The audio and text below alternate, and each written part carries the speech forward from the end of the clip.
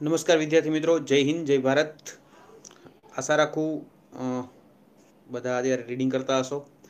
ખાસ કરીને કહેવાનું કે અત્યારે જે સમાચાર આવી રહ્યા છે, એ સમાચાર મુજબ ઘણી બધી પરીક્ષાઓ, ખાસ કરીને જીપીએસસીની અને ગૌણ સેવા પસંદગી મંડળની ખાતાકીય પરીક્ષા અને જે સ્પર્ધાત્મક પરીક્ષા, ખાસ કરીને જેમાં કહેવાય કે પ્રાથમિક કસોટી બાદની જે પરીક્ષાઓ લેવાની હતી એમાં ક્યાંક ને ક્યાંક મુખ્ય પરીક્ષાઓ અને ઇન્ટરવ્યૂ એ પણ અત્યારે મોકૂફ રાખવામાં આવ્યા છે. એ કોરોના મહામારીને કારણે તમામ પરીક્ષાઓ અત્યારે આ મહિનાની જે પણ ત્રીસ તારીખ સુધીની જે પણ ભરતી પ્રક્રિયાઓની જે પણ પરીક્ષાઓ હતી, એ પછી ખાતાકીય હોય, સ્પર્ધાત્મક હોય કે અન્ય કોઈ પણ હોય કે અન્યમાં, ખાસ કરીને શિક્ષણ યોગમાં જે પણ ડોક્યુમેન્ટ વેરિફિકેશનના બાબતે જે તારીખો જાહેર કરવામાં હતી, એ તારીખો પણ અત્યારે પાછળ કરી દેવામાં આવી છે. ખાસ કરીને તમામ પરીક્ષાઓ અત્યારે કોઈને કોઈ, ખાસ કરીને આપણે બધા જાણીએ છીએ કે કોરોના મહામારીને કારણે જ આ બધી પરીક્ષાઓ અત્યારે પાછળ જઈ રહી કારણ કે કોરોના મહામારીએ ફરીથી અત્યારે ઉઠલો માર્યો છે અને અત્યારે ગુજરાતમાં પણ એની પરિસ્થિતિ દિલ્હી જેવી જ ખરાબ થઈ રહી છે ધીરે ધીરે.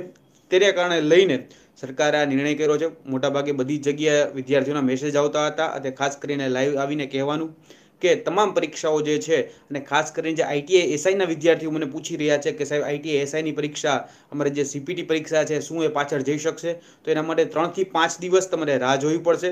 બીજું, જે ખાસ કરીને અત્યારે જે કહેવાય કે સોશિયલ મીડિયા ઉપર અમુક લોકો બિન સચિવાલયની તારીખ વિશે વાતો કરી રહ્યા છે કે બિન સચિવાલયની તારીખ ક્યારે આવશે?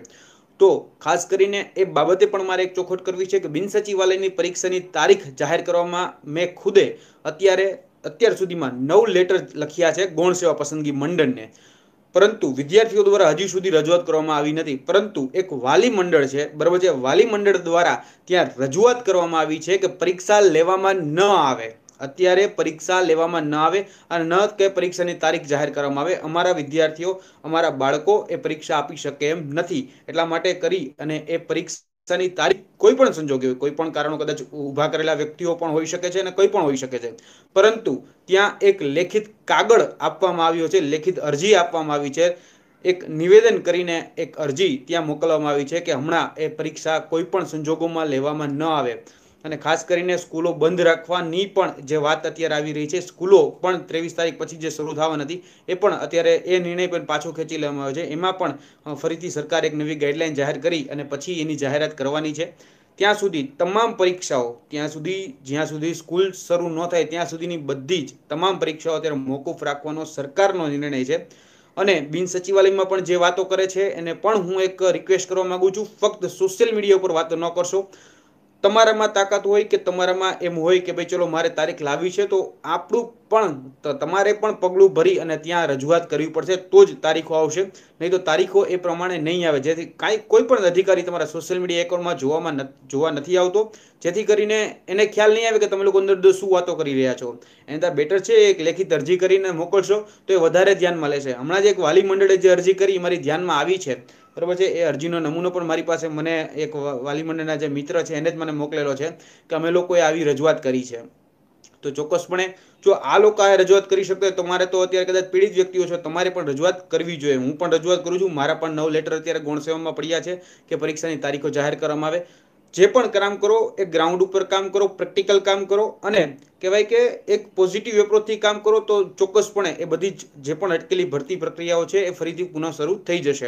અને ખાસ કરીને અત્યારે જે મહામારીના સમયમાં તમામ સ્પર્ધાત્મક પરીક્ષાઓ કોઈને કોઈ કારણસર અટકી દીધી, અટકાવી દેવામાં આવી છે. ખાસ કરીને આપણે બધા જ જાણીએ છીએ, મુખ્ય કારણ એમાં જે છે એ કોરોના છે. અને કોરોનાને જે અત્યારે જે પરિસ્થિતિ જે કહેવાય કે ફરીથી ઉઠલો માર્યો છે કોરોનાએ અને પરિસ્થિતિ અત્યારે બહુ ખરાબ છે. બરાબર છે? જેને કારણે તમામ જે સ્પર્ધાત્મક પરીક્ષાઓ છે, ખાસ કરીને લાઈવ આવવાનું કારણ એટલું જ કે તમામ સ્પર્ધાત્મક પરીક્ષાઓ અત્યારે આ દસ દિવસ પૂરતી તો મોકૂફ રાખેલી છે. ત્યારબાદ નવું ટાઈમ ટેબલ અને નવા ટાઈમ ટેબલમાં જે પણ પરીક્ષાઓ અત્યારે મોકૂફ રાખેલી છે, ખાતાકીય પરીક્ષાઓ પણ મોકૂફ રાખેલી છે. જે સ્પર્ધાત્મક પરીક્ષા છે, જે સીધી ભરતીથી કરવામાં આવે છે, એ પણ મોકૂફ રાખેલી છે અને જે ડોક્યુમેન્ટ વેરિફિકેશન છે, એ પણ મોકૂફ રાખેલા છે. એની પણ નવી તારીખો જાહેર કરી દેવામાં આવશે.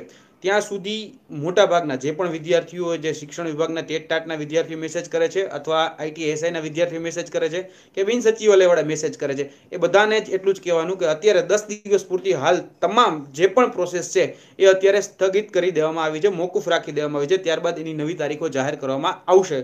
દસ દિવસ પછી કોરોનાની પરિસ્થિતિ થોડી હળવી થશે તો આના માટે જવાબદાર કોણ છે? ઘણા સોશિયલ મીડિયામાં ચાલુ થઈ જશે. આના માટે સરકાર જવાબદાર છે, સરકારના તાઇફાઓ જવાબદાર છે, સરકારની ચૂંટણીઓ જવાબદાર છે. બધી જ વસ્તુ આપને ખ્યાલ જ છે શું જવાબદાર છે, કોણ જવાબદાર છે. મહેરબાની કરીને આવી વાતોમાં સમય વેડફવા કરતાં તમે તમારા જે સ્પર્ધાત્મક પરીક્ષાનો તમારો જે ગોલ છે, એમ માનીને ચાલજો કે દસ વીસ દિવસ વધારે મળી ગયા.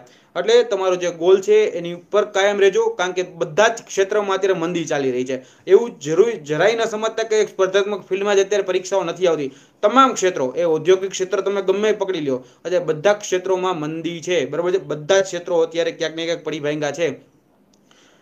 હું કોઈ સરકારની ફેવર નથી કરતો, કોઈ અનફેવર પણ નથી કરતો. પરંતુ જે વાસ્તવિકતા છે, જે કોરોના મહામારીના કારણે અત્યારે જે પરિસ્થિતિ ઊભી થઈ છે, એને લઈને જ અત્યારે વાત કરું છું. તો તમામ વિદ્યાર્થી મિત્રોને એટલું જ કહેવાનું કે આ જે પરિસ્થિતિ છે, આ જે સંકટ છે, બરાબર છે, એને તમારા સપનાઓને સાકાર કરવામાં અત્યારે કોઈ પણ આજે તમને સમય મળી રહ્યો છે અને તમે સપનાઓને સાકાર કરવામાં અત્યારે ક્યાંક ને ક્યાંક એને કન્વર્ટ કરજો. ક્યાંય પણ તમારો આ સમય છે, ખોટી જગ્યાએ વેડફાય નહીં, એનું ધ્યાન રાખજો. અત્યારે તમારી પાસે પુષ્કળ સમય છે. તમારી પાસે ડિજિટલ ટેકનોલોજીના માધ્યમથી ઘણી બધી સારી એપ્લિકેશનો અત્યારે તમને નોલેજ આપી રહી છે. સારી બધી યુટ્યુબ ચેનલો છે. બરાબર છે, પુસ્તકો છે, એટલે પ્રેક્ટિકલ એપ્રોચ અને થિયરિકલ એપ્રોચ તમારો બેસ્ટ છે.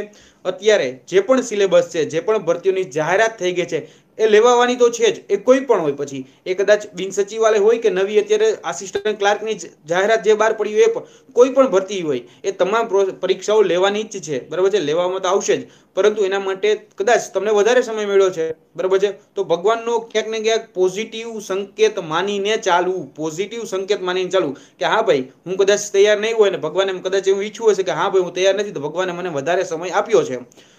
કોઈ પણ જગ્યાએ ખોટા કોઈને ક્રિટિસાઇઝ કરવાની જરૂર નથી. ક્યાંય પણ ખોટા આક્ષેપો કે આરોપો કરવાની જરૂર નથી. તમારી પાસે સમય છે, બરાબર છે, તો તમારે સમયનો સદુપયોગ કરવાનો છે, ક્યાંય પણ ગેરઉપયોગ ન થાય. એનું ખાસ ધ્યાન રાખવું છે. કોરોના મહામારીને કારણે તમામ જે ભરતી પ્રક્રિયાઓ છે, એ અત્યારે સ્થગિત રાખવામાં આવી છે. એ રદ કરી દેવામાં નથી આવી. એટલે હાલ પૂરતી મોકૂફ છે, હાલ પૂરતી. એટલે એ હાલ પૂરતી મોકૂફ છે, અને ફરીથી એની તારીખો જાહેર કરવામાં આવશે. જે પણ એ ટેટ ટાટના ઉમેદવાર હોય કે પછી અન્ય જે પણ પરીક્ષાની રાહ જોઈને બેઠા છે કે ભાઈ અમારું ડીવી ક્યારે થશે, એ તમામમાં નવી તારીખની જાહેરાત ડીવીમાં તો થઈ ગઈ છે જે બરાબર છે? ત્યારબાદ હવે જે અત્યારે જે પરીક્ષાઓ મોકૂફ રાખવામાં આવી છે, ખાસ કરીને ગૌણ સેવા પસંદગી મંડળ અને કહેવાય કે જીપીએસસી બોર્ડ, એ દ્વારા બે બંને બોર્ડ દ્વારા જાહેરાત કરવામાં આવી છે. આ બંને બોર્ડ દ્વારા જે જાહેરાત કરવામાં આવી છે, એ બંનેને અત્યારે શાંતિથી એક સમય તમને આપ્યો છે, એ સમયનો સદુપયોગ કરજો. આશા રાખું છું કે ક્યાંય પણ હવે કોઈ પણ ખોટો મેસેજ નહીં આવે. કારણ કે મેસેજ હજી તો થોડી ઘડી થોડું ઘણું થશે, ત્યાં તો સિત્તેર એસી સિત્તેર એસી મેસેજ આવી જાય છે. હું બધા મેસેજ જોઈ નથી શકતો, એટલે લાઈવ આવીને વાત કરવી પડે છે. જય હિન્દ, જય ભારત. અને બી પોઝિટિવ બંધ કેમ નહીં થતું?